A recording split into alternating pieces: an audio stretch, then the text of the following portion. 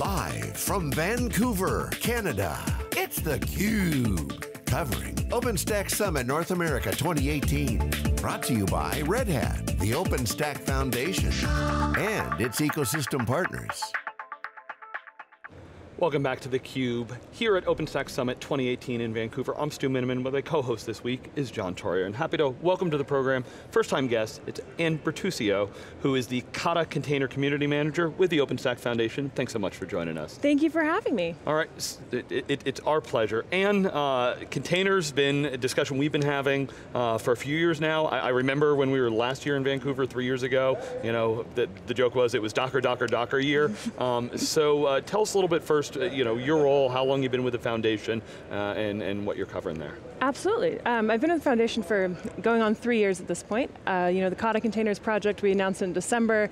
It's come up and come in there as the community manager, kind of helping them figure out, since December to the launch now, in less than six months, we had to figure out how are we going to work together, how are we going to merge two code bases, and we have to create a new open source project and a new community. So leading that has been a big part of my work. Yeah, uh, so, so, there's a whole track on containers now. Give, give us a little bit of uh, you know, flavor for our audience that couldn't be sitting in the keynote and attend all the sessions. You know, what were they missing?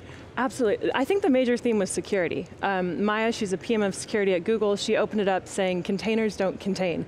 and I almost wish we had been on like a game show like, containers don't contain.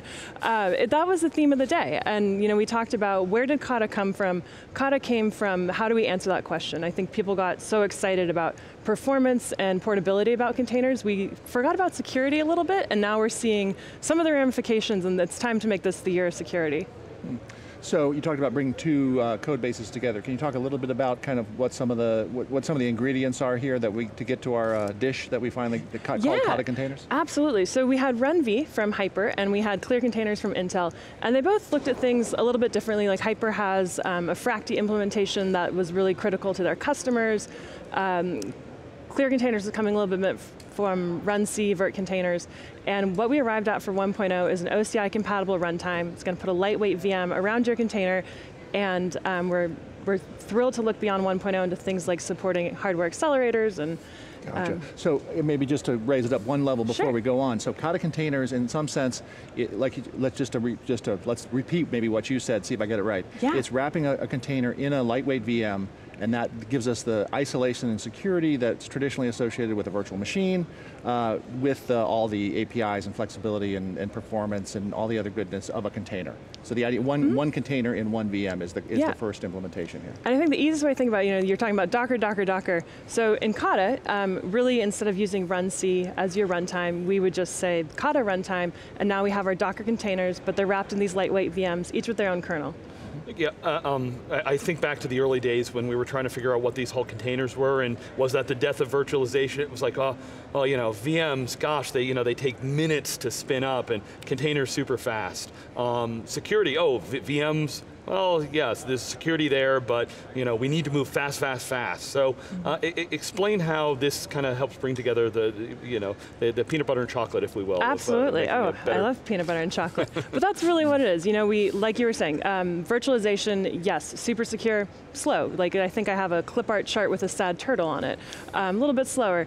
The containers, super fast, we're getting a little nervous about security. I think we maybe um, C groups and namespaces are good, but people who are enterprise environments, they've been putting full-blown VMs around their containers because they were saying, well, that's not enough, and I need two isolation boundaries, not just one.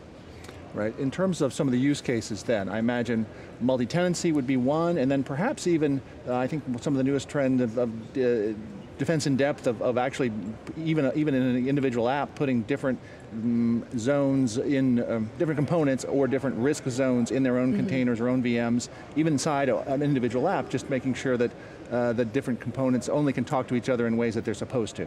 Absolutely. I think it's any time where you're running untrusted code or you have questions about what's going on there or you just want that heightened security, Kata's an easy use case there. Sure, I guess my, uh, VMware call it microsegmentation would be the would be their buzzword on it. Oh, I got to think of what mine's going to be.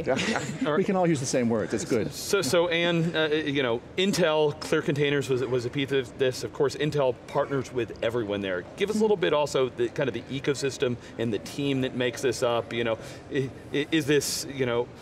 People out there will be like, oh well, but Docker has their solution and VMware has their solution. You know, how does this fit into the broader ecosystem?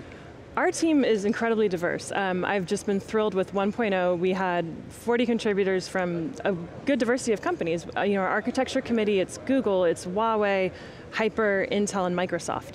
And I think we've, I was saying in the keynote the other day, I was on a call for our architecture committee, and we had AMD, ARM, and Intel all talking about the same solution. So it's the beauty of open source that we've brought all these groups together. Yeah, one of the things that also struck us, especially if we've been here, the, diversity of the show is always really good. The, the, the main keynote, it's not, oh, well, they've brought up some people of diversity. It's, oh, no, no, these are the project leads, and therefore they're doing this. Can you touch on some of the, the, the diversity and activities at the show itself? Um, in terms of technologies we're looking at, or No, I just, so- there's, I'm just saying, talking about the community is the diversity of companies as well as the diversity of people. So uh, we've got lots of the, the women inclusion, Oh, uh, sure, things like sure. that, yeah. Yeah, I know we had um, the executive producer of Chasing Grace was here, and I know she's been uh, Jennifer. Is it Cloer? Is that correct? Yes, Jennifer Cloer, Cloer. we actually interviewed her last week Oh, at a different show. Yeah. Yeah, I mean, she's been, her documentary has been incredibly well received. I know she's kind of making the rounds to get the word out there about what's going on with women in tech, and uh, we were more than thrilled to host her and have her here and be a part of that conversation. It's clear community is a big part of OpenStack, the OpenStack Summit, and, and uh, of care of the OpenStack Foundation.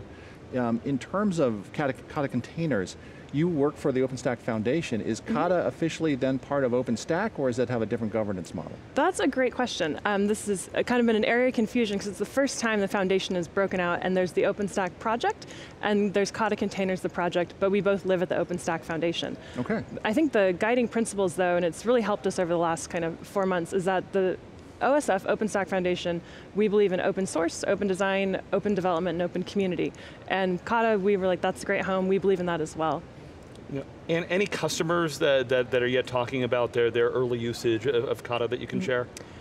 I think we have a lot of customers from um, RunV and Clear Containers, and Kata is going to be their next path forward. So with 1.0 out yesterday, I'm excited to see. We should see some upgrades real soon here. Yeah, is, is, is that, what's the, the path for them to get from where they are to, to the 1.0? Is, is, is that pretty straightforward? It should be. Yeah, we think so. And you know, they have their support from Intel and from um, Hyper to help them out with that as well.